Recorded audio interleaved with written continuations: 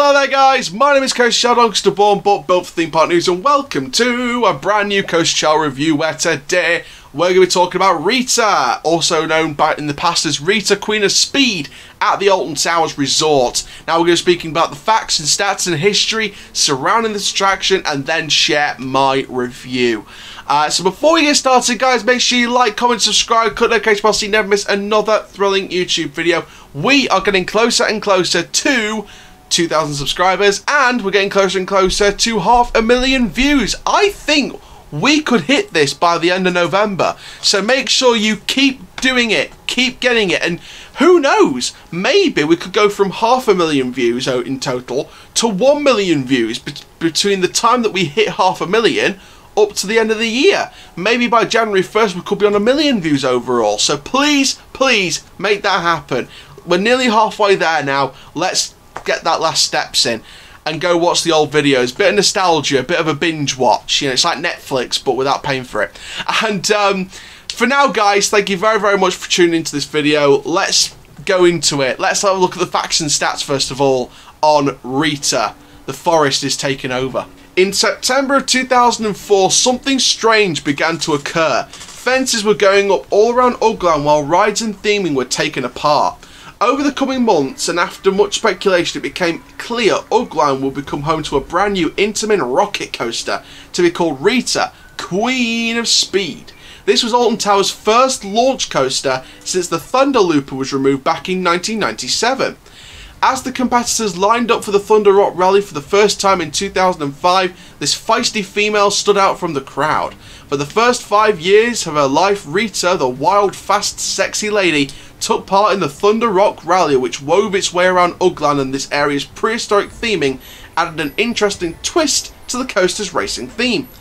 By the end of 2009, Ugland's time at the park had come to an end, and for 2010, the area was transformed into the Dark Forest, and Rita would have to fight her way back, losing the Queen of Speed tagline and receiving a brand new look and a feisty new attitude. Now this ride was manufactured by Intamin, opened originally on the 1st of April 2005 and rethemed in 2010. Uh, it opened at a cost of £8 million with a track length of 640 metres, a maximum track height of 21 metres, a maximum speed of approximately 98 kilometres an hour, 4.7 Gs the launch gets you from a hun- from 0 to 100 kilometers an hour in 2.5 seconds, and passengers per train is 20, with a capacity of 1,040 riders per hour, all taking part in a 49 second ride experience, which is not too long at all. So there we go, that is Rita, aka Rita, Queen of Speed at Alton Towers, the facts, the stats, the history. Uh, this ride's been through the ringer. I remember doing this ride when it was in Ugland as an Ugland ride with the Thunder Rock Rally and Rita, Queen of Speed. Uh, now I remember, I remember that all too well. I remember that so much. I remember hearing the, the the soundtrack, and I remember actually, to be fair, the the few times, the many few times where I did the corkscrew, I remember seeing the ride go off, like the launch when I was on the corkscrew, you know, I was looking back a couple of times just to see if it, you know, if it went off. And you know, it, it's, the, it's those it's those childhood memories that stay with you, stays with you. And you know, having done the Ugland version of Rita Queen of Speed and the Dark Forest version of Rita, I can safely say that in terms of theming quality, I think the Rita from the Dark Forest is better, but I think the memories come from the Ugland version. Now, Rita is always at the centre of speculation for removal. Over the last few years, at least. Over the last four or five years, maximum. You know, it's always been at the centre of speculation. You know, is that going to be it? Is Rita going to go for Secret Weapon 9?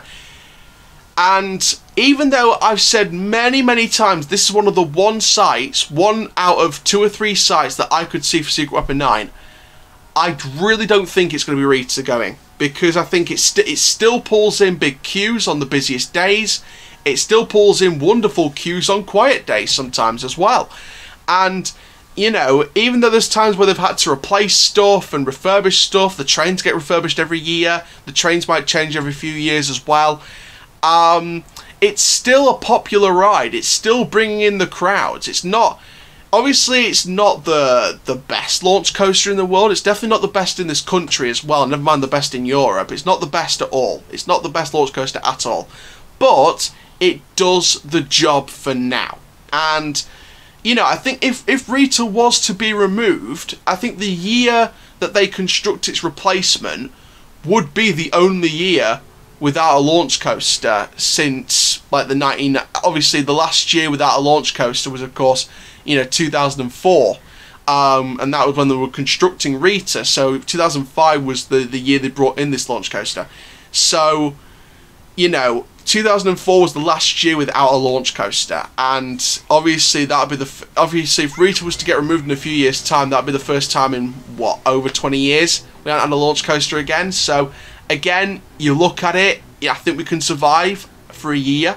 I think if Rita was to be removed, I'd like to see a replacement launch coaster, but if it's here for the long term, I wouldn't mind because it is still an alright coaster. It might not be one of my favourites, but it's still an alright coaster and it still does the job it's meant to do, and that's to excite people. I still have, you know, those you know those cheeks moments where the sort of hang on, I need to do this like uh, like it rattles, like it rattles like that when it goes 100 kilometers an hour.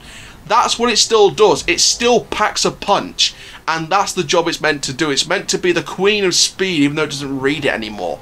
Um, but I think when the day does come that it has to go, I hope, for one time only, the Dark Forest likes to allow, you know, spirits from the past to rise from the dead for one day only, and that would be the Thunder Rock Rally.